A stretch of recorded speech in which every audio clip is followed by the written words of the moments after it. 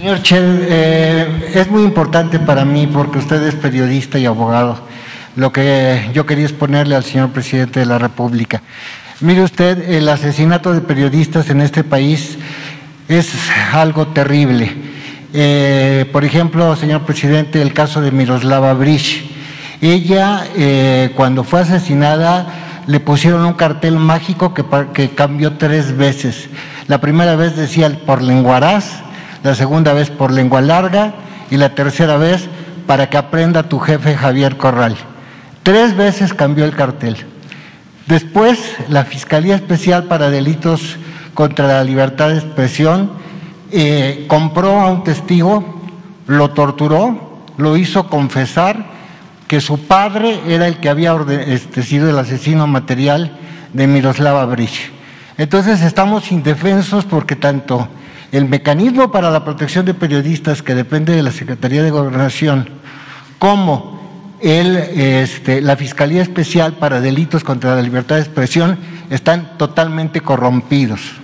Entonces yo quisiera pedirle al colega Scherer que desde la iniciativa privada donde va nos ayudara con este mecanismo de protección a periodistas porque están asesinando a tres compañeros cada mes y es algo que puede cambiar en el, segundo trienio del presidente López Obrador. La segunda también va a ser muy breve, pero también quisiera pedirle su ayuda.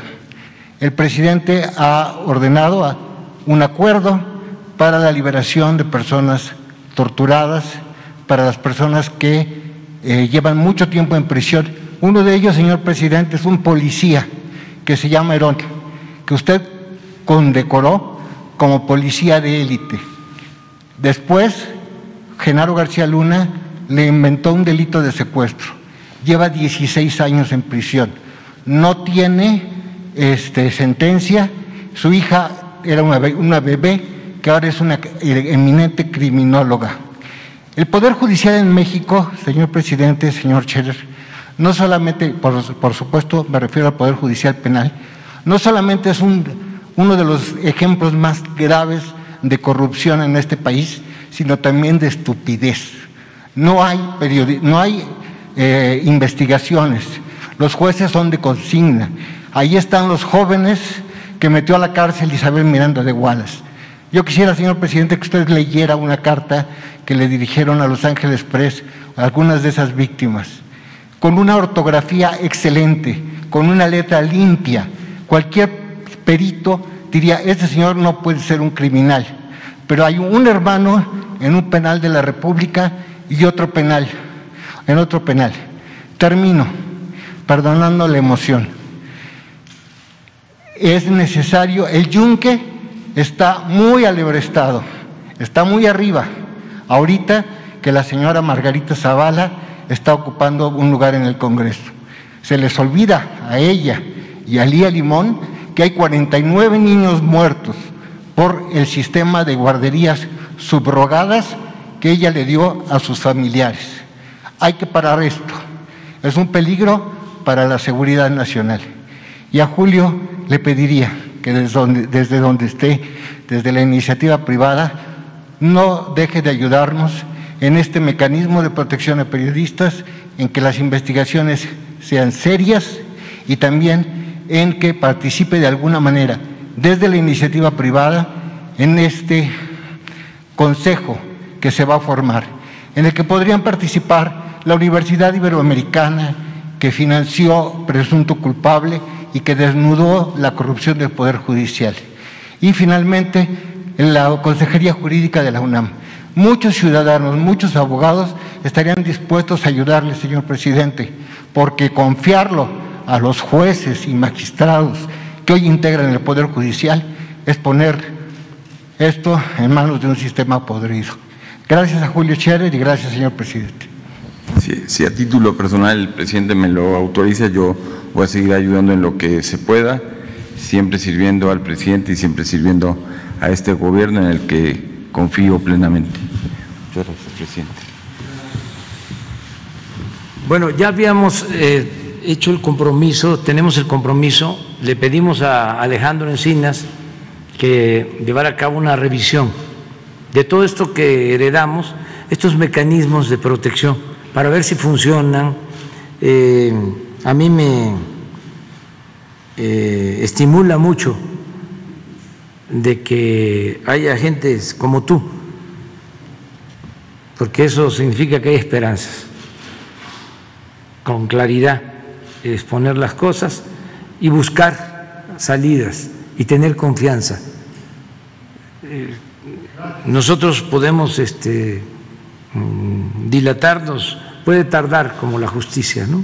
que a veces tarda pero llega, pero tenemos voluntad de hacer bien nuestro trabajo, de que no haya impunidad y proteger a todas las personas, proteger la vida, que es el principal de los derechos humanos.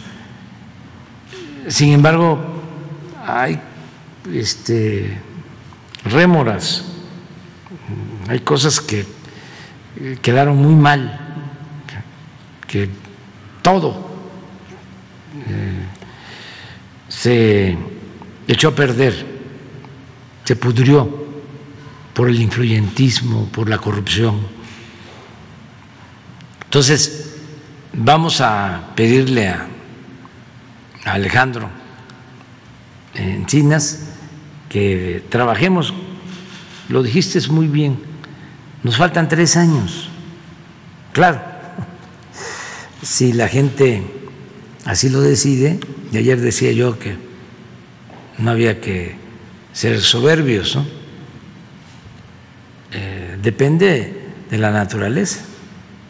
Yo soy el presidente de más edad que ha habido en la historia, presidente eh, constitucional.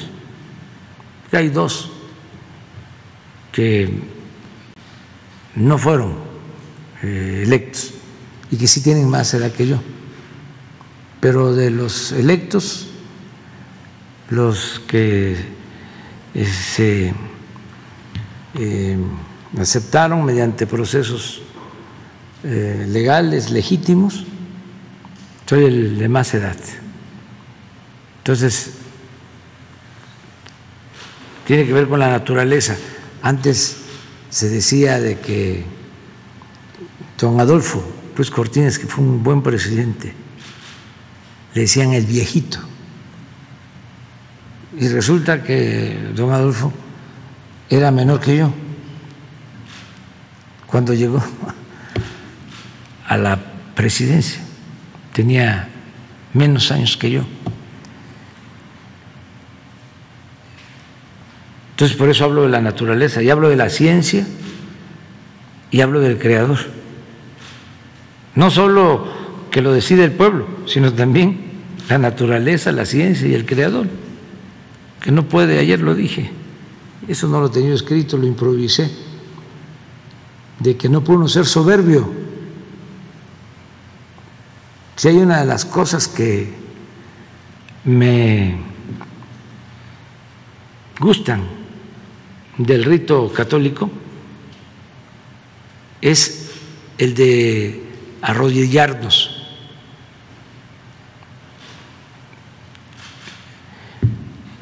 El que, eh, el que es católico se arrodilla, porque ese es un acto de humildad. Decía un liberal, el nigromante, decía, y era anticlerical. Entonces decía, yo me arrodillo donde se arrodilla el pueblo. Entonces, bueno, si terminamos, vamos a consumar la obra de transformación y este es un asunto que, como tú dices, nos faltan tres años y que podemos dejar bien. Este, que no haya impunidad, que no haya injusticias, que se proteja a los dirigentes sociales, a los periodistas, que no haya estos asesinatos, que este, eh, haya justicia. Entonces todavía tenemos eso. por delante. Y tengo confianza porque em, Adán es abogado también y tiene em, dimensión social, no solo es eh, abogado, eh, es un hombre que eh, lucha por la justicia, que tiene buenos sentimientos. Eso ayuda mucho. Luego Alejandro Encinas está probado que es un hombre recto, que este que protege los derechos humanos. Y así, y es muy buena tu propuesta, por ejemplo, que Julio y otros abogados, otras personas de buenos sentimientos, que nos ayuden y que entre todos podamos eh, elaborar un plan, una este, nueva forma de enfrentar este asunto, este problema. Lamentable, ¿no?